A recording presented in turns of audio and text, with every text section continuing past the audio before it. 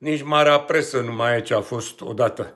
În Washington Post a apărut o nebunie întreagă, uh, un scenariu conform căruia uh, la aniversarea, aniversarea, mă rog, la împlinirea un, a unui an de la uh, începerea războiului, uh, ucrainienii ar fi plănuit un atac masiv uh, în uh, Moscova. Uh, bineînțeles, uh, sursele sunt anonime, nu există nicio probă, este un întreg uh, scandal care a determinat Chievul, cum era și firesc, să uh, reacționeze. Uh, dar mă întreb, ce presă mai se face la Washington, că apar nu știu câte articole citând surse anonime și fără niciun fel de dovezi. Unde sunt cele trei surse care erau solicitate de toate și sunt în continuare de toate codurile deontologice? Cum e posibil așa ceva?